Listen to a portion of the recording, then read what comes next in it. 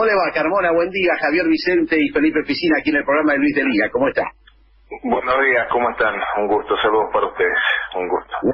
¿Existe el independentismo mendocino?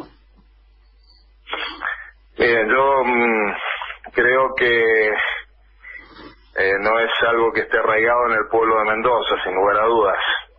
Eh, estamos ante un disparate, un disparate lanzado por por el ex gobernador y actual diputado nacional Alfredo Cornejo, actual presidente de la Unión Cívica Radical Nacional de la Argentina, hay que aclararlo, este, y diputado de la Nación Argentina, ¿no? Eh, pero es un disparate malintencionado, dañino, peligroso. Creo que hay que hay que tener en cuenta esto, digamos, no un disparate, no, no es algo propio de un loquito, digamos, ¿no? Creo que hay mala intención, creo que hay eh, intención de producir daño y eh, por eso creo creo que hay que intentar tener claro de lo que lanza Cornejo, ¿no? Eh, yo lo que alcanzo a visualizar en primer lugar es una acción de ataque al gobierno nacional, una acción desestabilizadora del gobierno nacional. Básicamente lo que pretende eh, Cornejo con esto es poner en, en crisis este, a un gobierno que viene enfrentando no solamente eh, la pandemia, sino también eh, la crisis que nos dejó el gobierno de Macri, del que fue partícipe necesario este, Alfredo Cornejo, como gobernador de Mendoza y como presidente de la Unión Cívica Radical. Eh, y ese ataque feroz, es un ataque que, que no, no tiene límites, que, que incluso busca poner eh, en dudas la unidad de la nación y, y, al sistema federal. Y en segundo lugar, em, es una acción, una maniobra distractiva. Fíjense que Cornejo lanza esto este, cuando en Mendoza ocurren tres hechos de los que no se habla. Se está hablando del disparate de Cornejo, pero no, no de, estos hechos que eh, sobre los que eh, Cornejo intenta distraer. Eh, Mendoza default hace ya casi 10 días. ¿Alguien escuchó eso?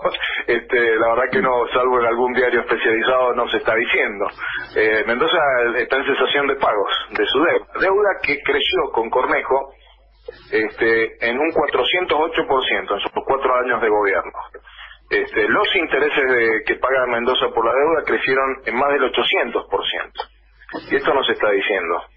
En segundo lugar, esta semana este, metieron literalmente por la ventana a la Corte Provincial eh, a em, la candidata de Cornejo, la abogada María Teresa Dey, eh, quien no cumple los requisitos constitucionales de tiempo en, la magistratura o tiempo en el ejercicio de la, de la profesión de abogado. Em, tampoco se habla de esto. El fracaso, este, así ha sido calificado por muchos mendocinos, el fracaso de Mendoza con Portezuelo del Viento también está asentado en eh, malos pasos de, la gestión de Cornejo en relación con, la gestión de ese, proyecto. Eh, bueno, eh, Cornejo está tratando de distraer la atención de estos temas y para eso lanza una bomba de humo, ¿no? Este, que cumple ese doble efecto, pegarle al gobierno nacional y por otro lado disimular el desastroso gobierno que ha dejado a la provincia de Mendoza en una situación de quiebra económica y financiera. ¿Cuál es la situación de la obra de Portezuelo del Viento que tanto conflicto ha traído también con la provincia de La Pampa y que por ahí los porteños la miramos un poco a la distancia y no alcanzamos a entender de qué se trata, Carmona? Bueno, tiene sus su complejidades el tema porque es un tema que viene de tiempo atrás. Eh, es una obra muy importante para Mendoza. Yo le diría que lo, central para Mendoza es el compromiso que asumió en su momento Néstor Kirchner eh, de, un, de, un, de una compensación económica por los eh, perjuicios provocados por la promoción industrial. Son 1.023 millones de dólares que el gobierno nacional reconoció a Mendoza y que mm, en un acuerdo en ese momento entre el presidente Kirchner y quien era el gobernador de Mendoza, Julio Cobos, implicó eh, la posibilidad de construir Portezuelo del Viento. Esta obra está mm, trabada por un conflicto interprovincial. Eh, es un río interjurisdiccional y en ese sentido las otras provincias que comparten el mismo río, el río Colorado, este, han planteado objeciones. El presidente Alberto Fernández lo que ha planteado es que hay que eh, superar esos, esos obstáculos y eh, esto ha generado bueno una conmoción política en mi provincia eh, que bueno esperemos que se encauce en función de, de, que se concrete este reconocimiento económico a la provincia de Mendoza que es muy importante para Mendoza y que este, sin lugar a dudas lo, defendemos. Ahora eh, decir eh, que sí a, ese, a, la defensa de, esos recursos e incluso decir que sí a la obra de Portezuelo no tiene que significar este, poner un manto de impunidad sobre eh, las cuestiones de la gestión anterior, de la gestión de Cornejo, de la actual gestión de Mendoza, que no están bien hechas, ¿no? Y esto es lo que yo vengo sosteniendo este, desde hace tiempo, lo cual uh, implicaba un durísimo ataque del oficialismo provincial a, mi persona como presidente del Partido Justicialista. Eh, Guillermo, ¿cómo estás? Felipe Ficina acá. Te quería preguntar un día eh, sobre lo que está sucediendo en la ciudad de Mendoza, ¿no? Eh, que hay un conflicto con los trabajadores, con los trabajadores de ATE, ha habido represión inclusive. Quería saber si nos podías ampliar un poco más Sí, mira, es muy muy delicada la situación porque una una parte muy importante de los trabajadores municipales de la ciudad de Mendoza eh, cobran están cobrando sueldos realmente por, por debajo de la línea de, de la indigencia bastante por debajo muy por debajo. Este, hemos visto bonos de sueldo sueldo de diez mil doce mil catorce mil pesos. Este y eh, esa situación que en una cualquier gobierno con sensibilidad este, se canaliza a través de una este, discusión paritaria, del establecimiento de, canales de diálogo en la ciudad de Mendoza, este, en lugar de transitarse ese camino, el gobierno municipal transitó el camino de la represión. Y en eso hemos, este, como hacemos siempre desde desde nuestra fuerza política. Hemos estado junto a los trabajadores, escuchándolos, este, recepcionando sus denuncias a través de nuestros bloques de legisladores provinciales este, y eh, poniendo en evidencia la, la grave situación que se está dando en la, ciudad de Mendoza.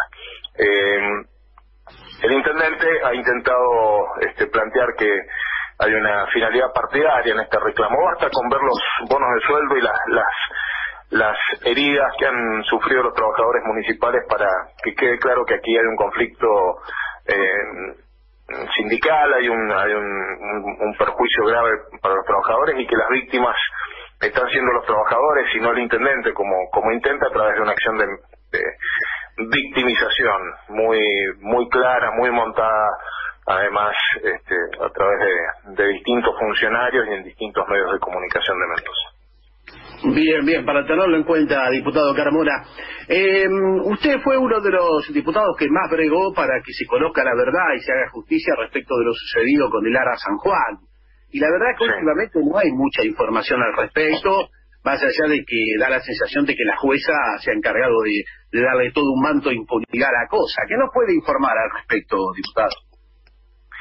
Bueno, lo primero, les aclaro para no hacer usurpación de título, no soy diputado ya, terminé mi mandato en diciembre, este, pero bueno, sigo con mucha atención eh, todo lo relativo al, a la tragedia del Ara San Juan y sus secuelas, ¿no? Eh, en primer lugar, destaco que el gobierno de Alberto Fernández, a partir de un fuerte compromiso asumido por el ministro Agustín Rossi, ha mm, eh, encarado una serie de, medidas eh, que buscan no solamente eh, tener eh, una cercanía y un acompañamiento hacia los familiares de los de los tripulantes este que revierta el maltrato que sufrieron durante la gestión de Macri sino que también ha habido un compromiso con la verdad y con que se haga justicia y en ese sentido desde el Ministerio de Defensa eh, fueron impulsados una, serie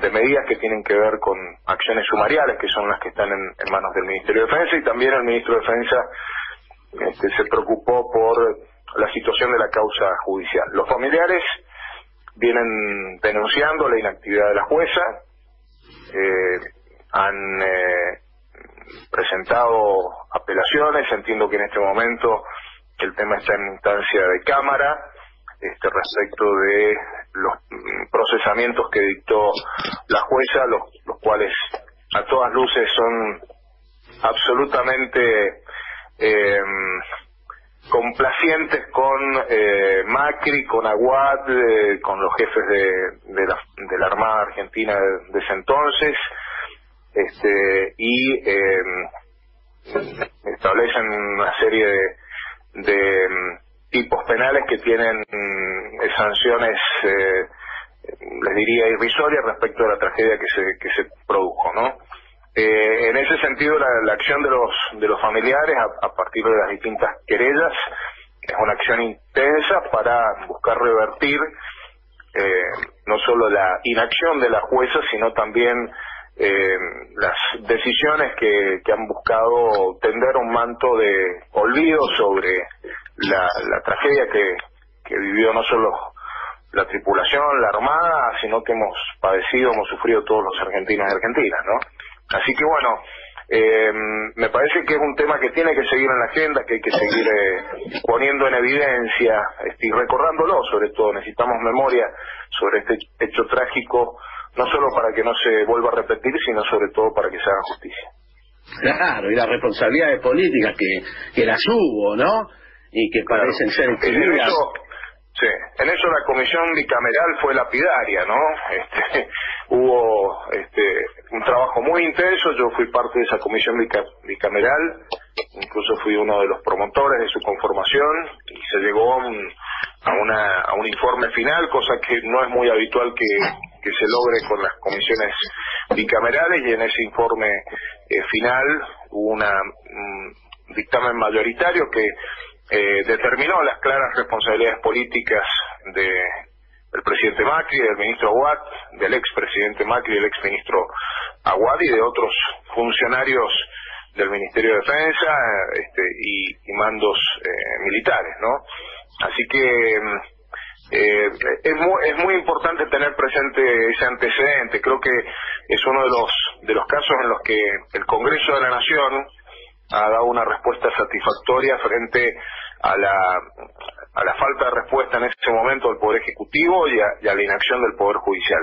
Y, es un hecho este, muy relevante. Yo la verdad que tengo un gran orgullo de, haber sido parte de ese equipo de legisladores que trabajamos en la investigación, una investigación seria y profunda, creo que la, la más seria y profunda que se ha hecho hasta el momento respecto de la tragedia de la San Juan. Bueno, Garbola, gracias. Nos quedamos tranquilos entonces que no se nos llevan la tonada, ni el vino, ni las tortitas, ni nada. No, no, Argentina al palo. Un abrazo grande, hasta la próxima. Ya vemos bien, un gusto, hasta luego.